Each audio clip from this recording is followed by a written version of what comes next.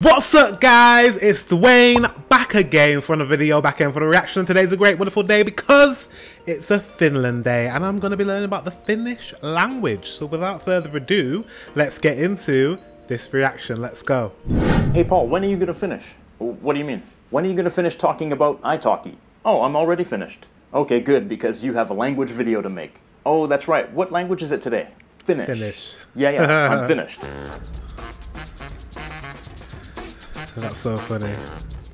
I never really thought of that. That Finnish as a language name means finish as in done in English. That's never really dawned on me. But obviously, yeah, we have that word in our language.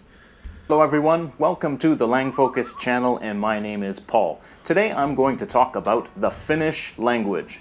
Okay. As you probably know, Finnish is the majority language spoken in Finland. It has I about 5.4 million native speakers, with 4.9 million of them living in Finland, which is about 90% of the population of Finland. It's one of the two okay. official languages of Finland, along with Swedish, which is spoken by about 5% of the population. So I've heard this, that 5% of the population speaks Swedish, but I think the type of I think I heard the type of Swedish they speak has a very heavy kind of like Finnish accent. Am I right? Am I wrong? Let me know in the comment section below. Um, but it is mutually intelligible, so Swedish people do understand, I think.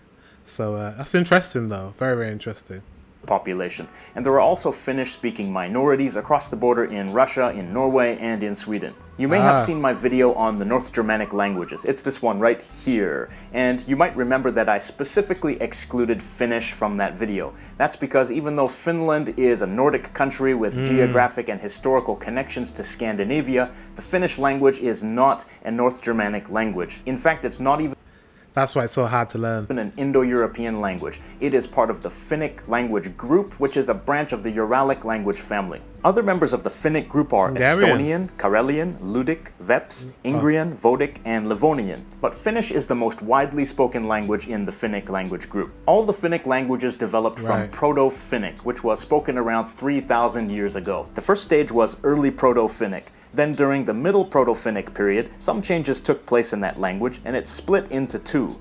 Proto-Samic, the ancestor of the Samic languages, and okay. Late Proto-Finnic, which ultimately became the most recent ancestor of all the Finnic languages. It's worth noting that Finnish contains a significant number of Germanic loanwords, some of them which are clearly ancient in origin. For hmm. example, mm. kuningas, which means king, tuoli, which means chair, tuoli. and it comes from the same root as stool, and koulu, which means school. Koulu.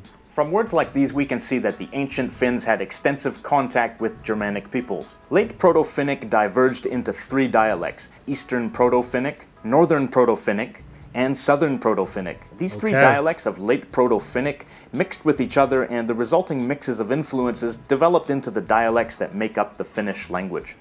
Language is so interesting, like the way language languages just evolved and and just keeps on evo- keeps on evolving. If you think about language today, it's still evolving. Like if you even recently, like now in England, if you hear how English speakers English people English people speak compared to how they spoke in um, I don't know back in the fifties or nineteen forties more more 1940s 1930s the very queen's english.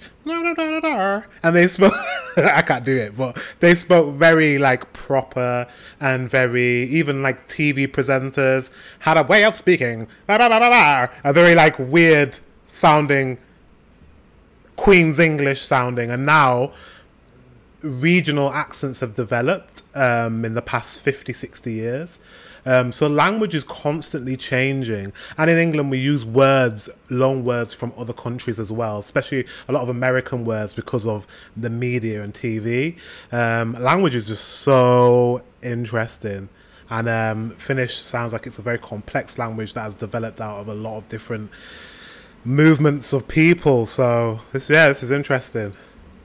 Around the 12th century and 13th century CE, Sweden conquered Finland and made it a province of their country. And for the next few hundred years, Swedish was the language, language. of administration. And during mm. this time, Middle Low German was the lingua franca of commerce in the area, and Latin was ah. the language of religion. Swedish and Middle Low German left an additional Germanic influence wait, on. Wait, he's speaking really, speaking really, really fast, but he just said that Swedish was the language of administration. So basically, people who ruled Finland, uh, Swedish was the language. So they were basically trying to colonize and make Swedish the widely spoken language in Finland at that time. And Middle Low German was the lingua franca of commerce. So all the countries in Europe or pretty much in Europe, spoke Low German, Middle Low German to do business, and then it says Latin was the language of religion. So confusing, like three different languages to like get by daily uh, when you uh, living in Finland in this time. Uh, Latin was the language of religion. I think yeah, it was the language of religion for the most of Europe was Latin. I think um, at that time was the language of religion. Swedish and Middle Low German left an additional Germanic influence on Finnish, which during that time was strictly a language of daily communication. Finnish right. did not really become a written language until the 16th century when a Finnish bishop named Mikael Agricola created the first comprehensive writing system for the language. He based that system on the orthography of German, Swedish, and Latin, and it still forms the basis of the Finnish writing system today, although there have been changes since then. In 1809, okay. Russia seized Finland from Sweden in a war and made it an autonomous state as part part of the Russian Empire. The official language right. and the language of the elite remained Swedish, but Finnish national feeling and a desire to make the Finnish language dominant began to increase. In 1835, these feelings were amplified by the publication of Kalevala, a work of epic poetry written by Elias Lönnrot, with stories from Karelian and Finnish folklore and mythology.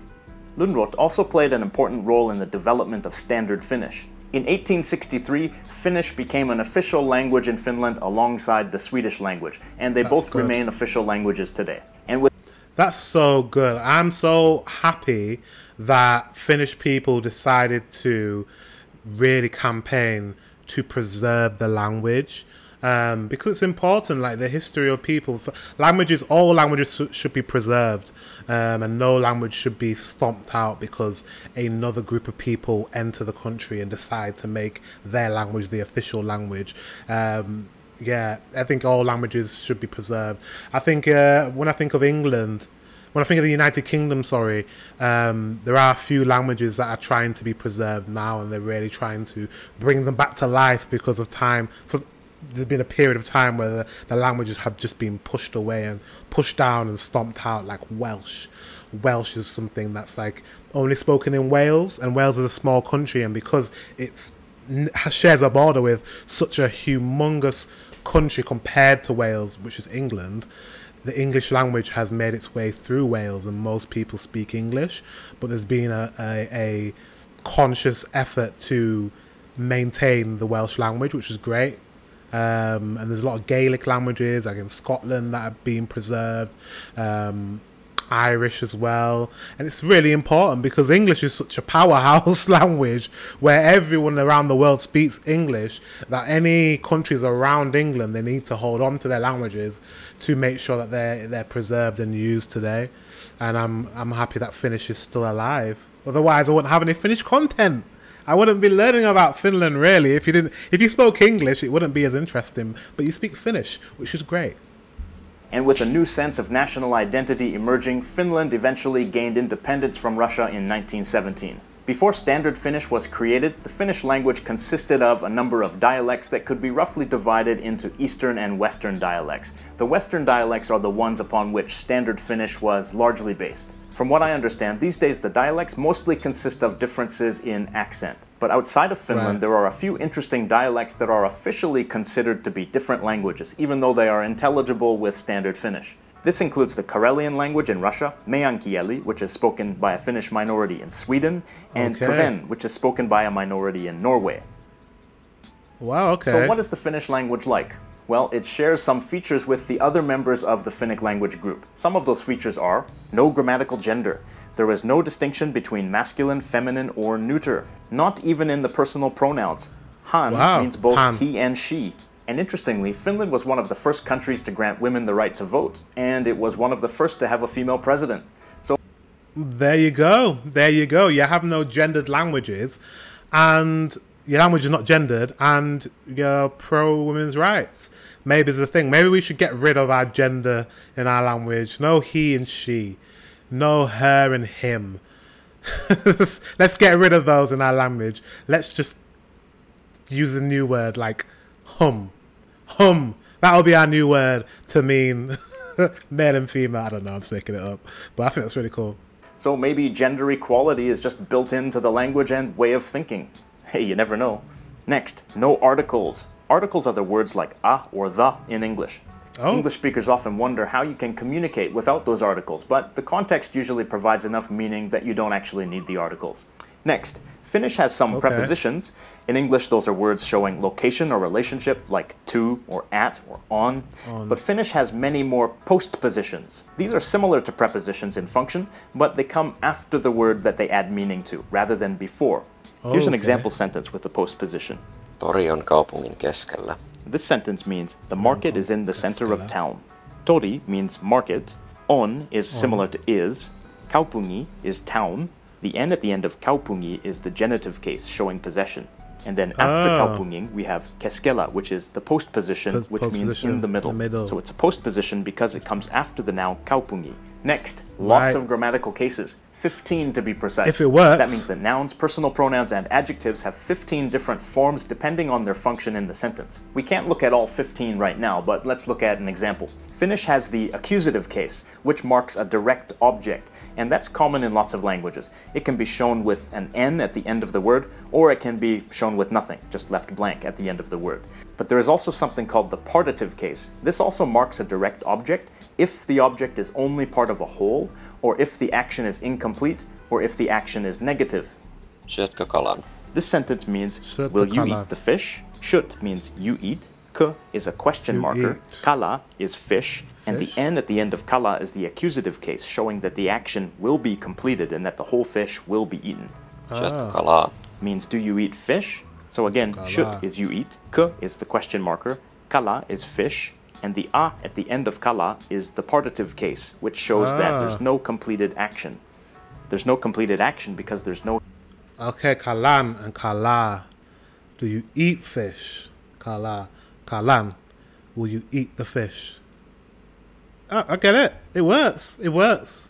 You just have to know the rules of a language, right? Specific fish being eaten. This is just a general question.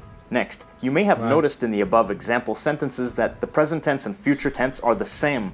That's right, in Finnish there is no future tense, but the future can be indicated in a couple of ways. When you see a present Tone? tense verb with an accusative case object, like this, that indicates the future because it shows that the action will be complete at some point. Mm-hmm. When you see a present tense verb with the partitive case, like this, that indicates present tense because the action is not a completed action, so it must be happening now. The future can also be clarified with a time expression.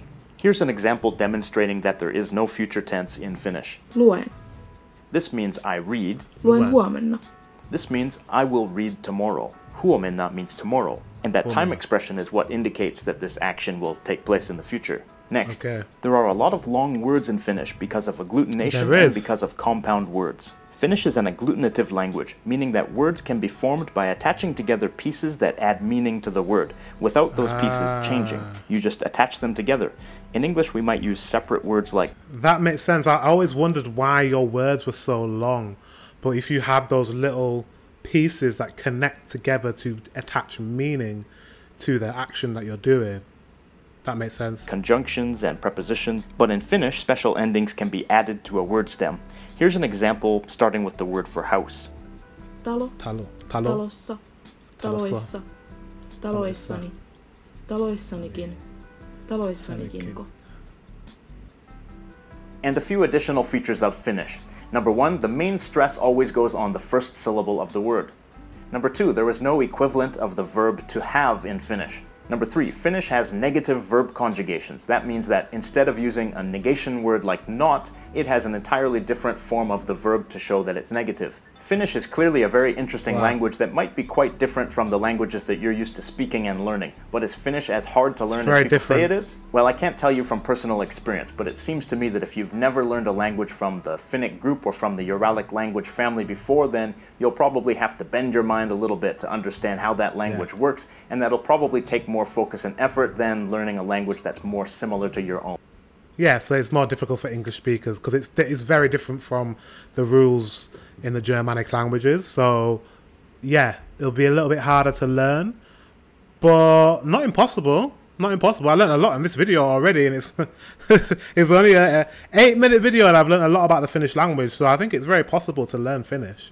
your own. But as is always the case, your passion for any language or culture will carry you through the challenges of learning that language. So if you're fascinated by Finnish, you really should go for it.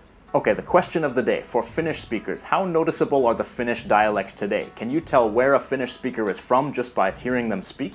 And a different question for Yeah, people who you? studied Finnish How challenging is Finnish to learn? Did you find it quite tough, or did Um, yeah, that's a good question that he's just posed just then.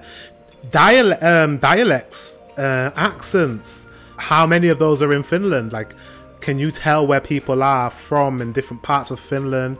Is there a different way of the people sound different? Like the closer you are to the Swedish border, say, do you sound a bit more Swedish or a bit more melodic in the way that you speak Finnish?